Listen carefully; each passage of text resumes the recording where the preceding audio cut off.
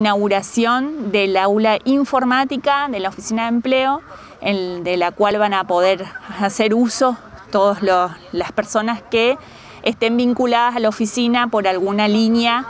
eh, con la que venimos trabajando desde el Ministerio de Trabajo, Empleo y Seguridad Social de la Nación. Y en esta oportunidad pudimos conocer a beneficiarios también del programa de empleo independiente que hacen panificados, que recibieron un subsidio de 63 mil pesos, que hicieron un curso de gestión empresarial, el, programa en sí dura 12 meses, durante los 12 meses también perciben un apoyo económico y dentro de un año pueden eh, pedir nuevamente un, subsidio eh, si continúan con la ejecución de este proyecto. Así que nosotros estamos muy felices y también conocimos a la, a la, empresa Mael,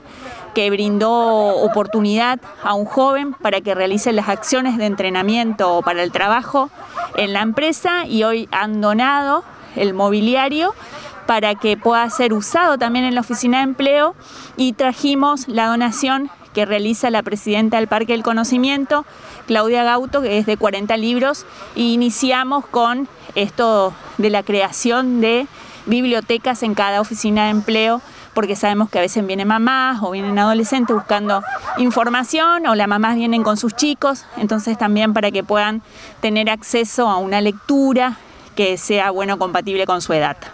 Bueno, todos aportando su granito de arena y eso eh, suma muchísimo. Sí, eh, la Oficina de Empleo de Iguazú, una oficina de empleo que tiene una muy buena trayectoria, que ha trabajado mucho en, en época de pandemia, se destaca sobre todo por las cuestiones de inserción laboral y de acciones de entrenamiento para el trabajo. Y bueno, nosotros desde la Agencia Territorial POSAS, con todo el equipo, le brindamos todo el apoyo que, podemos eh, y, estamos trabajando siempre de manera articulada para que vengan siempre beneficios al municipio de Iguazú, que bueno, todos eh, queremos tanto a este municipio, tiene nuestras maravillas del mundo, así que estamos permanentemente comunicados y trabajando en conjunto.